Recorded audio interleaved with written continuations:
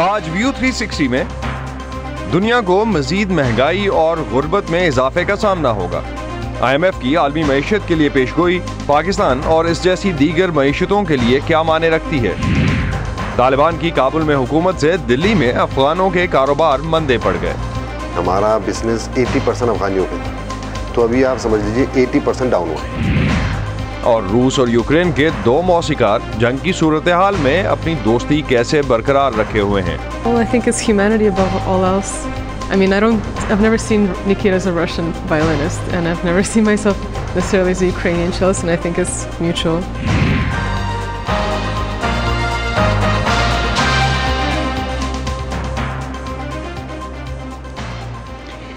Voice of America کے Washington studios میں آپ سب کو خوش آمدید آپ دیکھ رہے ہیں پروگرام ویو 360 اور میں ہوں اسد اللہ خالد۔ عالمی مالیاتی ادارے آئی ایم ایف کا کہنا ہے کہ پہلے کرونا کی عالمی وبا اور اب روس یوکرین جنگ کی وجہ سے عالمی معیشت سنگین خطرات سے دوچار ہے۔ آئی ایم ایف نے اس سال کے آغاز میں سال دو ہزار بائیس کے لیے دنیا کی معاشی شرح نمو کے بارے میں اپنی چار اشاریہ چار فیصد کی پیشگوئی کم کر کے تین اشاریہ چھ فیصد کر دی ہے۔ آئی ایم ایف کی سالانہ سپرنگ میٹنگز چوبیس اپریل تک جاری ہیں۔ اب تک عالمی معاشی صورتحال کے بارے میں جو جائزے پیش کیے گئے ہیں، ان میں دنیا کو درپیش کون سی معاشی مسائل اور مشکلات سر فہرست ہیں؟ جانتے ہیں ارم عباسی سے جو ہمیں آئی ایم ایف کے ہیڈ کوارٹرز سے جوائن کر رہی ہیں۔ ارم، آئی ایم ایف کی طرف سے یہ تو بتایا گیا ہے کہ دنیا میں معیشت کی شرح نمو کم رہے گی اس سال، لیکن ادارے کے ماہرین نے کن چیلنجز کی نشاندہی کی ہے؟ جی اسد عالمی مالیاتی فنڈ اور ورلڈ بینک نے دو ہزار بائیس اور سن دو ہزار تیئیس کے لیے جو عالمی معیشت کی گروتھ کی جو تصویر کھینچی ہے، وہ ایک پریشان کن تصویر ہے اور انہوں نے جو اپنی پہلے کی پیش گوئی تھی، اس کو اب گھٹا دیا ہے اور اس کی وجوہات، جیسا کہ آپ نے بتایا، پہلے پینڈیمک اور اب یوکرین میں روس کی جاری جنگ ہے۔ روس میں، روس کی جو جنگ ہے، اس کی وجہ سے جو توانائی کے ذریعے ہیں جس طرح توانائی حاصل کی جاتی ہے، اس کی قیمتوں میں اضافہ جو ہے یعنی این انرجی پرائسز کی قیمتوں میں اضافہ ہوا ہے۔ دنیا خوراک کی قلت کا سامنا کر رہی ہے، جس کی وجہ سے خوراک کی قیمتوں میں بھی اضافہ ہوا ہے۔ یعنی مہنگائی دنیا بھر میں بڑھ رہی ہے اور پیش کو یہ کی گئی ہے کہ وہ بڑھتی رہے گی۔ اور پھر خوراک کی ترسیل میں جو خلل پیدا ہوا ہے، اس کی وجہ سے دنیا کو فوڈ انسیکیورٹی یا خوراک کی قلت کا سامنا ہے۔ اگر ہم پروجیکشنز کی بات کریں آئی ایم ایف اور ورلڈ بینک نے جو پیش گوئی کی ہے، ان کا یہ کہنا ہے کہ جو ترقی پذیر یا ابھرتی ہوئی منڈیاں ہیں دنیا میں، وہاں پر آٹھ اشاریہ سات فیصد تک مہنگائی کی شرح پہنچے گی۔ جبکہ ان کی پیش گوئی ہے کہ جو ترقی یافتہ ملک ہیں، جو بڑی معیشتیں ہیں، ان میں یہ اضافہ، مہنگائی میں اضافہ جو ہے، اس کی شرح پانچ اشاریہ سات فیصد تک ہوگی۔ اس کی یہ وجہ بھی انہوں نے بتائی کہ U S, U K, Canada اور یورپی یونین کی جانب سے جو روس پر سینکشنز، جو پابندیاں لگائی ہیں، لگائی گئی ہیں، اس کی وجہ سے روس کی معیشت کو بھی ٹھیس پہنچا ہے۔ لیکن یوکرین کی جو صورتحال، جو معیشت کی صورتحال ہے، وہ کافی پریشان کن قرار دی گئی ہے۔ اور جیسا کہ ہم جانتے ہیں کہ روس جو ہے، وہ اہم ذریعہ ہے گیس تیل اور میٹلز کا جبکہ یوکرین جو ہے وہ گندم کا دنیا کے لیے ایک بہت اہم ذریعہ ہے اور اس جنگ کی وجہ سے ان کی ترسیل متاثر ہوئی ہے۔ اور خود اگر امریکہ کی بات کریں تو آئی ایم ایف اور ورلڈ بینک کا کہنا ہے کہ اس سال یعنی سن دو ہزار بائیس میں امریکہ میں مہنگائی کی شرح جو ہے وہ سات اشاریہ سات تک جائے گی۔ جبکہ یورپی ممالک کی بات کریں یورو زون جسے کہا جاتا ہے وہاں پر مہنگائی کی شرح کو بتایا گیا ہے کہ وہ پانچ اشاریہ تین فیصد رہے گی۔ جی۔ ساتھ ہی ساتھ میں آپ کو یہ یہ بھی بتاتے چلوں کہ ریفیوجیز کے حوالے سے بھی بات کی گئی ہے کہ جو یوکرین میں جنگ جاری ہے، وہاں سے جو ریفیوجیز آ رہے ہیں، وہ ایک بہت بڑا انسانی بحران ہے۔ اور اسد، کل جب جی ٹوینٹی کے ملکوں کے وزراء کی ملاقات ہوئی اور جب روسی وفد نے بات کی، بات کرنا شروع کی، تو اس وقت یو ایس کینیڈا اور یو کے نے احتجاجن واک آؤٹ کیا۔ بہت بہت شکریہ، ارم عباسی، ہمیں اس حوالے سے اپڈیٹ کرنے کا۔ آئی ایم ایف کے علاوہ ورلڈ بینک نے بھی دنیا کی معاشی ترقی کی شرح میں کمی کی پیشگوئی کی، وہی ہم بات کر رہے تھے ابھی ارم عباسی سے بھی اور جو ہمیں بتا رہی تھیں کہ جو اوورال اس وقت امپیکٹ بنتا نظر آتا ہے، اس سے انفلیشن میں بہت زیادہ اضافہ ہو سکتا ہے۔ نوے بیسس پوائنٹس یعنی تقریباً ایک فیصد کی کمی کے ساتھ عالمی بینک سمجھتا ہے کہ سال دو ہزار بائیس میں عالمی معیشت کی شرح نمو میں تین اشاریہ دو فیصد اضافہ ہوگا۔ ادارے کا کہنا ہے کہ کرونا کی وبا نے دنیا کی معیشت کو بہت نقصان پہنچایا ہے۔ اب اومیکرون ویرینٹ کے باعث بار بار لاک ڈاؤن چینی معیشت میں سسروی کی وجہ بن رہے ہیں۔ سب سے پہلے چین نے ملک میں آنے والے سامان پر ایک ہفتے کے لیے کرنطینہ نافذ کر دیا ہے۔ اس کا مطلب یہ ہے کہ جو مینوفیکچررز دوسری جگہوں جیسے جنوبی کوریا سے آنے والے چپس استعمال کرتے ہیں، وہ چین میں سامان بنانے کے لیے درکار اجزاء حاصل نہیں کر پا رہے ہیں۔ دوسرا، لاک ڈاؤن کی وجہ سے شنگائی اور ہانگ کانگ جیسی بندرگاہوں پر سامان پھنسا ہوا ہے۔ عالمی اداروں کی دو ہزار بائیس کی معاشی آؤٹ لک میں پاکستان کی معاشی ترقی میں بھی کمی کی پیشگوئی کی گئی ہے۔ اس کے ساتھ ساتھ مہنگائی اور بجٹ خساروں میں اضافے کا خدشہ بھی ظاہر کیا گیا ہے۔ ماہر معاشیات ڈاکٹر ثاقب رضاوی اس وقت ہمارے ساتھ موجود ہیں۔ ان سے پاکستان کی معاشی آؤٹ لک پر مزید بات کرتے ہیں۔ ڈاکٹر ثاقب، ورلڈ بینک نے کہا ہے کہ سیاسی افراتفری نے بھی پاکستان کی معاشی مشکلات میں اضافہ کیا ہے۔ آئی ایم ایف کی طرف سے بھی جاری کی گئی آؤٹ لک جو ہے وہ کوئی بہت اچھی تصویر دکھاتی نظر نہیں آتی۔ پاکستان کی معاشی مشکلات میں دنیا میں ہونے والی ڈیولپمنٹس کا کتنا ہاتھ ہے اور پاکستان کا اپنا کتنا رول ہے اس پوری معاشی خرابی میں؟ اسد، آپ نے بڑی اچھی بیک گراؤنڈ بتائی۔ ایک تو جو گلوبل اکانومی ہے، وہ اس وقت سیریس چیلنجز کا شکار ہے اور وہ پاکستان پہ بھی اثر انداز ہو رہے ہیں۔ لیکن پاکستان کے اپنے ریکولر سرکمسٹانسز بھی ہیں جن کی وجہ سے معیشت کو شدید پریشر ہے۔ اس میں آئی ایم ایف کا پروگرام تھا جو پوری طرح امپلیمنٹ نہیں ہو رہا تھا، وہ پاز ہو گیا تھا۔ اس کے بعد پولیٹیکل انسرٹنٹی ہوئی، جس سے انفلیشن اور ایکسچینج ریٹ پہ اثر پڑا۔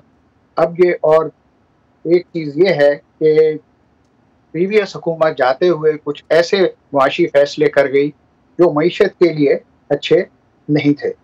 تو موجودہ ٹیم جو ہے پاکستان کی اکنامک ٹیم اس کے لیے بہت پیچیدہ سچویشن ہے۔ کیونکہ جتنے مائکرو اکنامک انڈیکیٹرز ہیں وہ غلط ڈائریکشن میں موو کر رہے ہیں اس وقت۔ ڈاکٹر صاحب آپ ریلیف کے علاوہ بھی کسی چیز کو ریفر کر رہے ہیں؟ آپ پرانی حکومت کے فیصلوں کی جب بات کر رہے ہیں تو جو آگے پاس آن ہوئے ہیں؟ یہ جو لائن تھی یہ سے سے کیونکہ آئی ایم ایف کا پروگرام جو امپلیمنٹ نہیں ہو رہا کی وجہ سے ملنی اور ریزروز پہ پریشر بڑھتا تھا۔ پولیٹیکل انسرٹنٹی اور بڑھی تو وہ پریشرز اور ایکسرویٹ ہو گئے۔ اور جاتے ہوئے انہوں نے دو کام جو کیے، جس میں ایک فیول سبسڈی تھی اور ایک ٹیکس ایمنسٹی تھی۔ یہ دونوں معیشت کے لیے سپن نہیں۔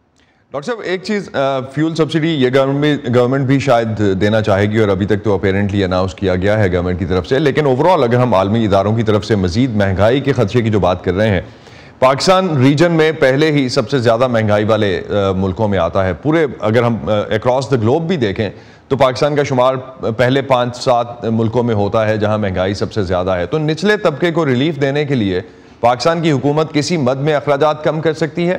یا نئے قرضے ہی حل ہوں گے اس کا؟ یہ دو سیپریٹ بٹ ریلیٹڈ ایشوز ہیں۔ قرضے جو ہیں، وہ اس لیے ضروری ہیں تاکہ پاکستان اپنے پہلے لیے ہوئے قرضوں کو پے کرتا رہے۔ جہاں تک ریلیف عام لوگوں کے لیے ریلیف ہے، اس میں دیکھیں، یہ ہوتا رہا ہے کہ ایکسچینج ریٹ کو ڈی ویلیو کیا گیا اور ساتھ میں یوٹیلیٹیز پہ ٹیکس لگائے گئے۔ جس کی وجہ سے انفلیشن بہت زیادہ ہو گیا۔ تو یہ جو ہے، اب اس حکومت کے لیے یہ کرنا پڑے گا کہ یہ ٹارگیٹڈ سبسڈیز دیں۔ جرنل سبسڈیز کبھی بھی ٹھیک نہیں ہوتی۔ اور وہ ٹیکسز اور انکم ٹیکسز جو امیر لوگوں پہ لگائے جاتے ہیں، وہ ان کی شرح بڑھائی جائے۔ تو آئی ایم ایف کے ساتھ جو بھی پروگرام ہوگا، ابھی بھی جو ہم ریسنٹ کل سے خبریں دیکھ رہے ہیں، دوبارہ جو ایگریمنٹ ہونا ہے، جو اس کے ریویو کرنے کے لیے باتیں ہو رہی ہیں، اس میں پاکستان کو کچھ مشکل فیصلے کرنے ہوں گے۔ سبسڈیز ڈیفینیٹلی ہٹانی ہوگی، جو کہ عوام کو تو پسند نہیں آئیں گے۔ تو نئی حکومت کے لیے کتنا مشکل ہوگا اس طرح کے فیصلے کرنا اور کتنا سسٹینیبل ہوگا کنسیڈرنگ کہ اگلے سال یا اس سال الیکشنز بھی ہوں تو۔ یہ آپ نے بہت اچھی بات کی ہے۔ یہ ایک بڑی پیچیدہ سچویشن ہے۔ سبسڈیز کو ماڈیفائی کیا جاتا ہے۔ جنرل سبسڈیز کو ٹارگیٹڈ سبسڈیز میں کنورٹ کیا جا سکتا ہے۔ مطلب ہے یہ میرا تو یہ ہوگا کہ یہ ریورس کر دینی چاہیے۔ بہت بہت شکریہ ڈاکٹر ثاقب رضاوی آپ کا ہم سے اس حوالے سے بات کرنے کا، پاکستان کی معیشت اور اس کے علاوہ جو ورلڈ بینک اور آئی ایم ایف کی طرف سے ابھی آؤٹ لک جاری کی گئی ہے، پوری دنیا کی معیشتیں جو ہیں اس میں سٹرگل کرتی ہوئی نظر آتی ہیں۔ شمالی افغانستان میں جمعرات کو کئی دھماکوں کے نتیجے میں کم از کم دس افراد ہلاک اور درجنوں زخمی ہوئے ہیں۔ ان میں سے تین دھماکے مزار شریف میں شیعہ مساجد پر ہوئے ہیں۔ سیکیورٹی کے ساتھ ساتھ افغانستان میں طالبان کی حکومت کو سخت معاشی مشکلات کا سامنا ہے۔ کابل پر قبضے اور غیر ملکی افواج کے انخلا کے بعد پچھلے سال کے آخری چار مہینوں میں افغانستان میں فیکس آمدنی ایک تہائی سے زیادہ کم ہوئی ہے، جس سے دو ہزار سات کے بعد سے ملک میں ہونے والی اقتصادی ترقی آہستہ آہستہ ختم ہوتی جا رہی ہے۔ عالمی بینک کے مطابق سالہ سال سے افغانستان کی معیشت کا انحصار مسلسل بیرونی امداد پر رہا ہے، جس کے رک جانے سے ملازمتوں کے مواقع کم ہوئے ہیں اور نوکری پیشہ افراد کی آمدن میں کمی آئی ہے۔ عالمی بینک نے کہا ہے کہ سیاسی بحران سے افغانستان میں تقریباً دو دہائیوں کی معاشی کامیابیوں کے ضائع ہو جانے اور ملک کے شدید غربت میں جانے کا خطرہ پیدا ہو گیا ہے۔ عالمی بینک کے اعداد و شمار سے واضح ہے کہ موجودہ حالات میں جب بین الاقوامی امداد صرف انسانی ضروریات اور بنیادی سہولتیں فراہم کرنے تک محدود ہے، افغانستان کی معیشت سنگین صورتحال سے دو چار ہے۔ افغانستان میں طالبان کی اقتدار میں واپسی نے بھارتی دارالحکومت میں ان ہزاروں افغان شہریوں کو بھی متاثر کیا ہے جو تقریباً دو دہائیوں سے دلی میں آباد تھے۔ ان کے کاروبار کا انحصار افغانستان سے بھارت آنے والے شہریوں پر تھا، لیکن طالبان کی حکومت آنے کے بعد جیسے جیسے افغانستان سے لوگوں نے بھارت آنا چھوڑا ہے، یہ افغان کاروبار بھی مشکلات کا شکار ہو چکے ہیں۔ تفصیل جانتے ہیں اس رپورٹ میں۔ حشمت پیرزادہ نے پندرہ سال قبل افغان کھانوں کا یہ ریسٹورانٹ اس وقت کھولا تھا جب وہ افغانستان سے بھارت کے دارالحکومت میں رہنے کے لیے آئے تھے۔ ہمیں ہی کھانے پینے کے لیے پریشانی ہو رہی تھی۔ یہاں جو اسپائسز ہے ریسٹورنٹ اور بھی بہت سارے جو افغانی آ رہے تھے، ان جسے جتنا ہمیں پریشان مطلب پریشانی نہیں فوڈ کا جو ضرورت تھی، اس کے لیے تو ہمیں لگا کہ ہم یہاں پر اگر ایک چھوٹا سا ریسٹورنٹ کر لیں اور بزنس بھی ہو جگہ اور لوگوں کی مشکلات بھی حل ہوگا اسی میں۔ یہ ریسٹورانٹ ان بیسیوں کاروباروں میں شامل تھا جو اس علاقے میں ان ہزاروں افغان باشندوں کی ضروریات پوری کرنے کے لیے شروع ہوئے تھے، جنہوں نے سن دو ہزار ایک میں طالبان کو اقتدار سے نکالے جانے کے بعد بھارت آنا جانا شروع کیا تھا۔ افغان کاروباروں کی وجہ سے یہ علاقہ لٹل کابل کے نام سے مشہور ہو گیا۔ لیکن گزشتہ اگست میں افغانستان میں طالبان کے اقتدار میں آنے کے بعد سے نئی دلی اور کابل کے درمیان پروازیں معطل ہیں۔ افغانستان میں بھارت کی کوئی سفارتی موجودگی نہیں ہے اور افغان شہریوں کا آنا جانا تقریباً ختم ہو گیا ہے۔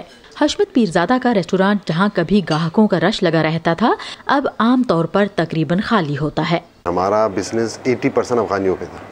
تو ابھی آپ سمجھ لیجیے ایٹی پرسینٹ ڈاؤن ہوا ہے۔ پھر بھی اوپر والے کی وہ ہے ٹھیک ہے انڈین کسٹمر ہے، اور بھی گلف کنٹریز کے کسٹمر ہیں ہمارے پاس، لیکن افغانی نہ کے برابر ہے اس علاقے میں جہاں دری زبان کے سائن بورڈز افغان سیاحوں کو اپنے گھر کا احساس دلاتے تھے، سب کاروباروں کو اسی صورتحال کا سامنا ہے۔ سپر مارکیٹس، روٹیوں کے سٹالز اور ادویات کی دکانیں اب ویران پڑی ہیں۔ یہاں بہت سے افغان باشندے سستی دوائیاں اور دیگر چیزیں خریدنے آتے تھے۔ ان میں وہ افغان طالب علم بھی شامل ہیں، جنہیں بہتر تاثر قائم کرنے کے لیے بھارت وظائف فراہم کرتا ہے۔ بھارت میں ان کاروباروں کے ذریعے اپنی زندگی دوبارہ شروع کرنے والے افغان باشندے، جن میں سے اکثر پناہ گزی ہیں، پریشان ہیں۔ بھارت میں لگ بھگ سولہ ہزار افغان پناہ گزی آباد ہیں۔ ان میں اجمل نظاری بھی شامل ہیں، جو دس سال پہلے اپنے ملک میں جاری تنازع سے بھاگ کر نئی دلی آ گئے تھے۔ بہت فرق ہے۔ آپ ہنڈریڈ سے ہمارا ابھی ٹین پرسینٹ پر ہو گیا ہے بالکل ہی انکم زیرو ہو گیا ہے ابھی بہت شاپس ادھر بند ہو گئے، بہت کام بالکل کسی کو ہی نہیں مل رہا۔ ہمارے گھر میں تین چار بندے ہی کام کر رہے تھے۔ ابھی میں ہی پرسنل کام کر رہا ہوں اور پرسنل جو تھی ہماری سیلری ہوتی تھی تو ہنڈریڈ پرسینٹ ابھی فورٹی پرسینٹ پہ پہنچ گئے ہیں بہت سی دکانیں بند ہو چکی ہیں۔ سڑکوں کے کنارے ان سٹالز پر جہاں کبھی خوب چہل پہل ہوتی تھی اب ویران پڑے ہیں۔ افغانستان سے نہ فلیٹ آ رہی نہ کچھ ہے۔ یہاں پہ بھی بہت لوگ افغانی ہمارے بھائی رہتے۔ ہیں یہ بھی بہت پریشان ہے۔ بیچارہ بیٹھے کیک روڈ بیچتے ہیں اس میں کچھ نہیں بنتا ہے۔ وہی آیا بیچارہ افغانستان سے آیا اس کے بھی یہاں پہ جرا ہے نہ کوئی کوم کر رہا ہے نہ رفوجی ہے نہ کوئی پیسے دیتا ہے بس سارے مشکلات میں بیٹھے دو کیک کے دو روٹ میں اس میں تو کچھ نکلتا نہیں ہے۔ بچے چھوٹے چھوٹے گھر پہ بیٹھے بیٹی ہے بس یہی مشکلات ہمارا بہت زیادہ ہے۔ وہ اپنے وطن میں اپنے رشتہ داروں اور دوستوں کے بارے میں بھی پریشان ہیں۔ ایسی فیلنگ ہے جو بتا نہیں سکتے۔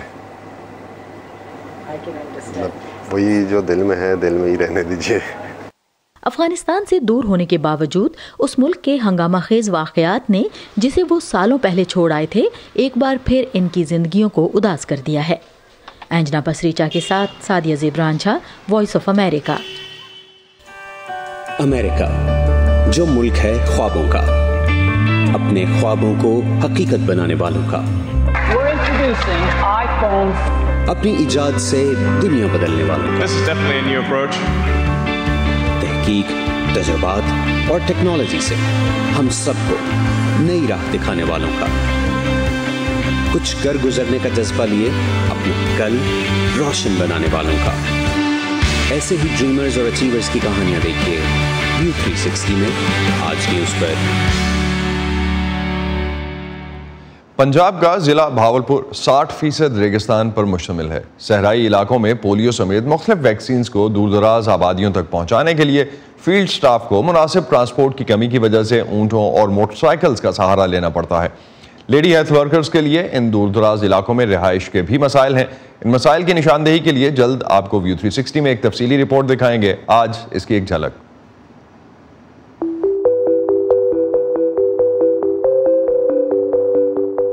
کھلے اگر جوتا پہنے تو پاؤں جلتے ہیں شوز پہن لیں تو بھی جلتے ہیں۔ پانی ساتھ لے کے جائیں وہ بھی گرم ہو جاتا ہے۔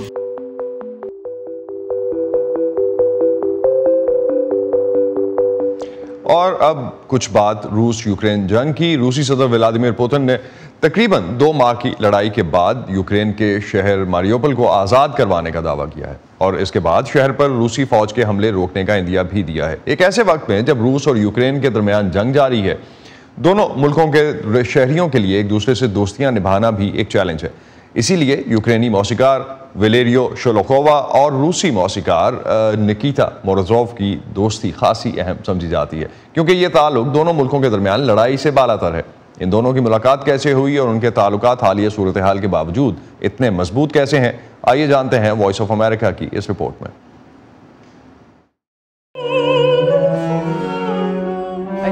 میں نے ایک دن فیصلہ کیا جب میں نو سال کی تھی کہ میں چیلو بجانے والی بنوں گی اور یہ سب سے اچھی چیز تھی جو میں اپنی زندگی کے ساتھ کر سکتی تھی۔ اکتیس سالہ ولیریا شولوخووا کا تعلق یوکرین سے ہے۔ وہ بیس سال پہلے امریکہ چلی گئی تھی لیکن آج بھی ان کے دل میں اپنا وطن بستا ہے۔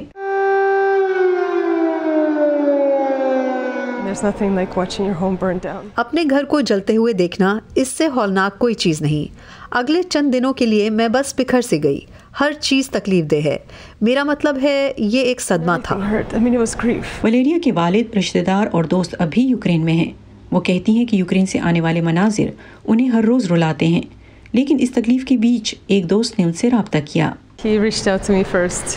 پہلے انہوں نے مجھ سے رابطہ کیا۔ ہاں یہ بہت ہی مخلص دل کو چھو لینے والا پیغام تھا۔ بس یہ کہا کہ ان کا دل ٹوٹ گیا ہے اور وہ میرے ساتھ ہیں اور وہ میرا دکھ محسوس کرتے ہیں۔ نکیتا موروزوف پینتیس سالہ روسی وائلنسٹ ہیں۔ وہ مونٹریال کینیڈا میں پلے بڑے ہیں اور اکثر ولیریا کے ساتھ پرفارم کرتے ہیں۔ وہ اس وقت سے دوست ہیں جب سے وہ ایک دہائی سے بھی زیادہ عرصہ قبل نیو یارک شہر کے دی جولیٹ اسکول میں ملے تھے۔ مجھے نکیتا کے ساتھ فن کا مظاہرہ کرنا پسند ہے۔ میں یہ کہہ سکتی ہوں یہ موسیقی سے متعلق ایک بہتر احساس ہے۔ ایک ایسا احساس جیسے آپ کسی کے ساتھ ہیں۔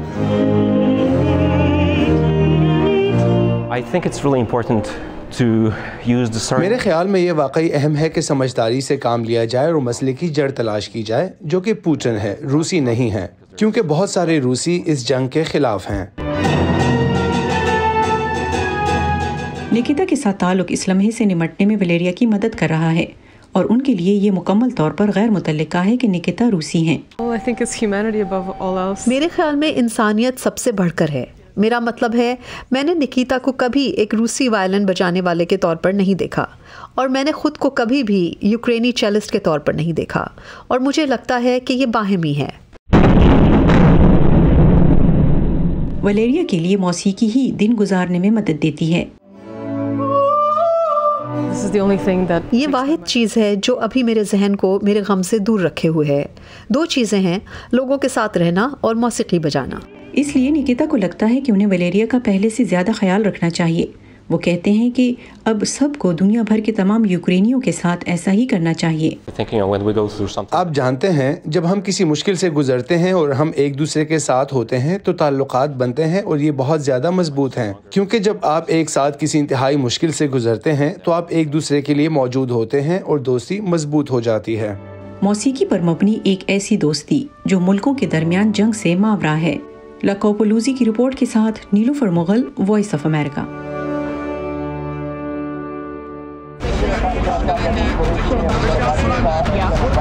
خبروں کے پیچھے نہیں بھاگتے۔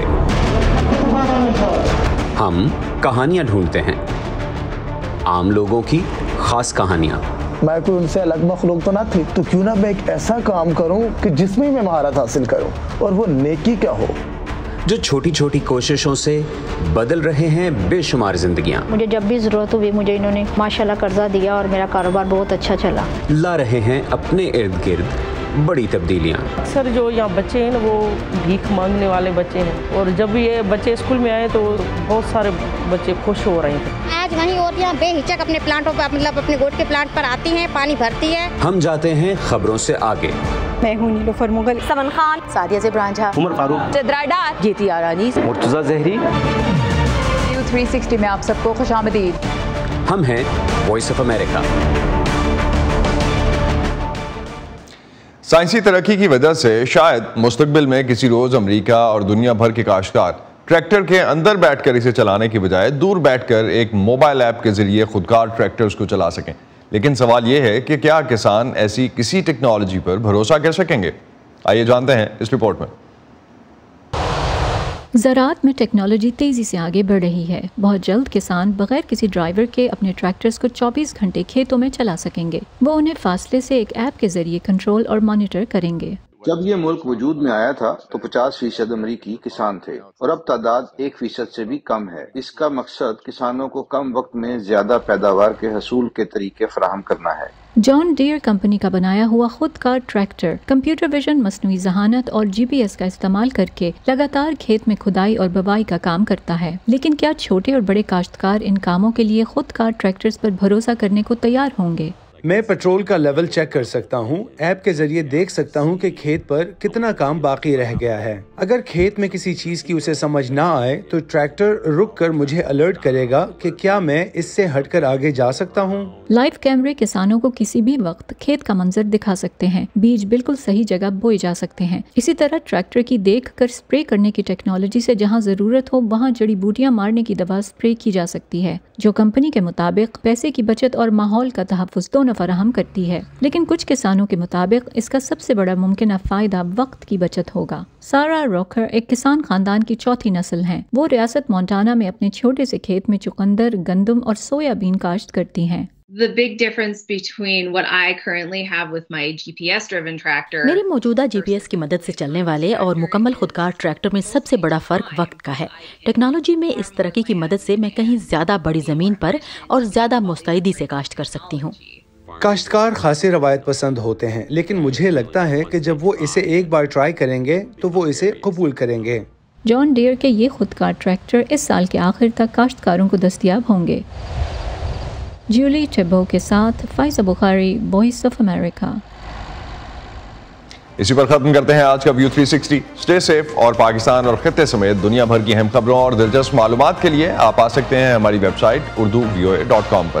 یہ سارا کانٹینٹ آپ کو ملے گا ہمارے سوشل میڈیا پلیٹ فارمز پر بھی Facebook dot com slash V O A Urdu YouTube پر ہمارا چینل ہے وی او اے اردو کے نام سے، اور ٹویٹر انسٹاگرام پر بھی ہمارا ہینڈل ہے at we O A Urdu اب تک کے لیے اتنا ہی۔ اسد اللہ خالد کو اجازت دیجیے خدا حافظ۔